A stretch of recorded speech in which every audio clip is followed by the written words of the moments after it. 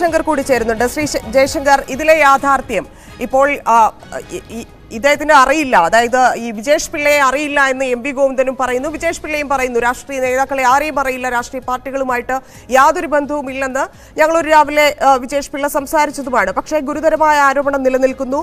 ആരോപണം മുഖവിലേക്ക് എടുക്കുന്നില്ലെന്ന് സി പി എം സംസ്ഥാന സെക്രട്ടറി പറയുമ്പോഴും അത് എത്ര ദിവസത്തോളമാകും യാഥാർത്ഥ്യം പുറത്തറിയിക്കേണ്ടതില്ലേ? അല്ല ഇതിൽ മൊത്തത്തിൽ വലിയൊരു പൊരുത്തക്കേട് ആദ്യം മുതൽ തന്നെ ഉണ്ട്.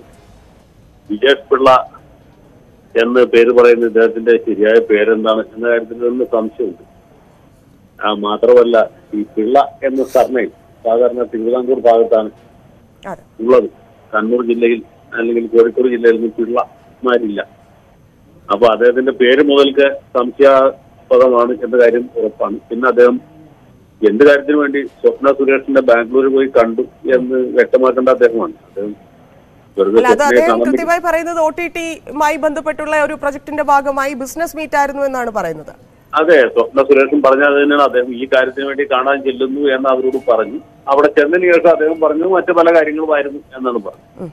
ഇതിലെ ദുരൂഹത നിലനിൽക്കുന്ന ഒരു ഭാഗം ഗോവിന്ദ മാസ്റ്ററോ അല്ലെങ്കിൽ യൂസഫ് അലിയോ ആ, ഒന്നും ഈ രീതിയിൽ ഇവരെ ഭീഷണിപ്പെടുത്താനായിട്ട് അദ്ദേഹത്തെ ഉപദേശിക്കാനുള്ള സാധ്യത വളരെ കുറവാണ്. ഒന്നുകിൽ അദ്ദേഹം സ്വന്തം ഭാവനയ്ക്കും മനോധർമ്മത്തിനും ഒത്ത രീതിയിൽ സ്വപ്ന സുരേഷിനെ കണ്ട് ഇങ്ങനെ ഒരാവശ്യം ഉന്നയിച്ചായിരിക്കും അല്ലെങ്കിൽ മറ്റാരെങ്കിലും അദ്ദേഹത്തെ ഇവിടെ നിന്ന്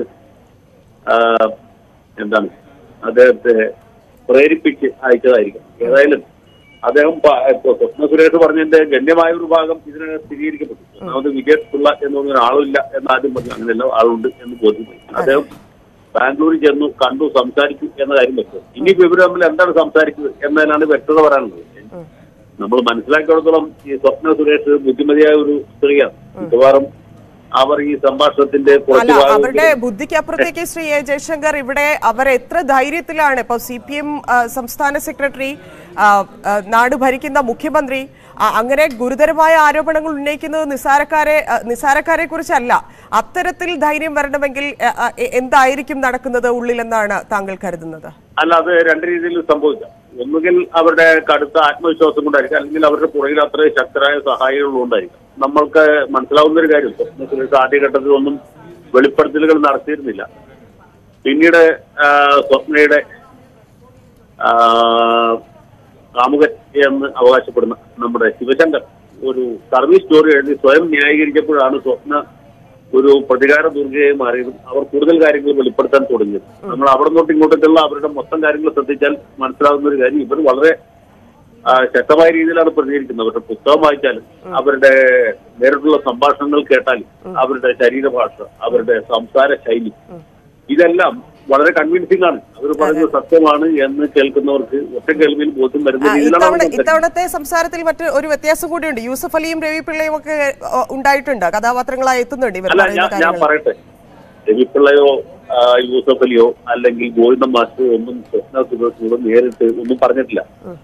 ഇവരുടെ താല്പര്യപ്രകാരമാണ് ഈ വിജേഷ് എന്ന് പറഞ്ഞ ആൾ വന്നത് എന്നാണ് അയാൾ അവകാശപ്പെട്ടതായിട്ട് സ്വപ്ന സുരേഷ് പറയുന്നത്. സ്വാഭാവികമല്ലേ? ഇപ്പൊ ഞാൻ അഡ്വക്കേറ്റ് ജയശങ്കറാണ് എന്ന് പറഞ്ഞ് സ്വപ്ന സുരേഷിനോട് പറഞ്ഞു നിങ്ങൾ ഈ കേസിൽ പിന്മാറുന്നു പറഞ്ഞാൽ അവർ ചെവിക്കൊള്ളുകയില്ല നേരെ മറിച്ച് എന്നെ ഇങ്ങോട്ട് അയച്ചിരിക്കുന്ന ഇന്ന ആളുകളാണ്.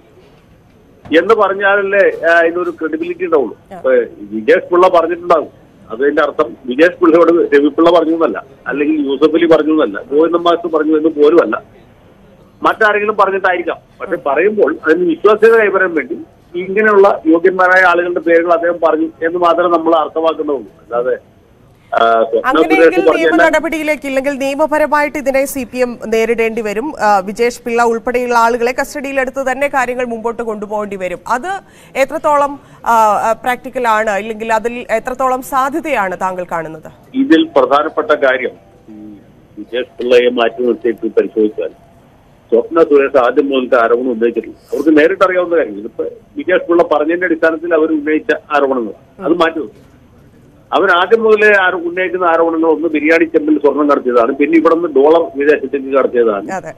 അല്ലെങ്കിൽ ശ്രീരാമകൃഷ്ണൻ തോമസ് ഐസക് കടകംപള്ളി സുരേന്ദ്രൻ മുതലായവരുടെ അനുചിതമായ പെരുമാറ്റത്തെ കുറിച്ചാണ് അല്ലെങ്കിൽ മുഖ്യമന്ത്രിയുടെ കുടുംബത്തിന് ഈ സ്വർണക്കടത്തുമായിട്ടോ അല്ലെങ്കിൽ ലൈഫ് മിഷനുമായിട്ടോ ബന്ധപ്പെട്ട് നടന്ന സാമ്പത്തിക ഇടപാടുകളിൽ ഉണ്ടായിട്ടുള്ള കാര്യങ്ങളാണ്. അതുമല്ലെങ്കിൽ ഷാർജയിലെ ഭരണാധികാരിയുടെ സന്ദർശനവുമായിട്ട് ബന്ധപ്പെട്ടാണ്. ഇതിലെല്ലാത്തിലും പ്രതികൂട്ടിൽ നിൽക്കുന്നത് സി പി എം നേതൃത്വം സി പി എമ്മിലെ ചില നേതാക്കന്മാർ മുഖ്യമന്ത്രിയും അദ്ദേഹത്തിന്റെ കുടുംബാംഗങ്ങളും ആണ്. അവരാരും തന്നെ ഇന്ന ദിവസം വരെ സ്വപ്നക്കെതിരായിട്ട് യാതൊരു നിയമ നടപടിയും സ്വീകരിച്ചിട്ടില്ല എന്നുള്ളതാണ് ഇതിൽ ഏറ്റവും ശ്രദ്ധേയമായ കാര്യം. അങ്ങനെ നിയമ നടപടി സ്വീകരിച്ചിരുന്നെങ്കിൽ ആ ജനങ്ങളുടെ വിശ്വാസം അവരുടെ ഭാഗത്തുണ്ടായിരുന്നു ഇതിപ്പോ ഇന്ന ദിവസം ഒന്നും ചെയ്യാത്തതുകൊണ്ട് സ്വപ്ന സുരേഷിന്റെ ആത്മവിശ്വാസം വർദ്ധിക്കുന്നു. വർദ്ധിച്ച ആത്മവിശ്വാസത്തോടെ അവർ കൂടുതൽ കൂടുതൽ ഗുരുതരമായ ആരോപണങ്ങൾ തുടർന്നും ഉന്നയിക്കുന്നു. അതിനും യാതൊരു മറുപടിയും നൽകുന്നില്ല. യാതൊരു നിയമ നടപടിയും ഉണ്ടാകുന്നില്ല. ഇതാണ് പ്രശ്നം. അവിടെയാണോ ഇല്ലേ ബുദ്ധിമുട്ട് കിടക്കുന്നത്? പുതുപ്പിള്ളയ്ക്കും അത് ഉണ്ടാകില്ല എന്ന് പ്രതീക്ഷിക്കാം. നന്ദി ശ്രീ അഡ്വക്കേറ്റ് എ ജയശങ്കർ വാർത്തയോട് പ്രതികരിച്ചതിന്.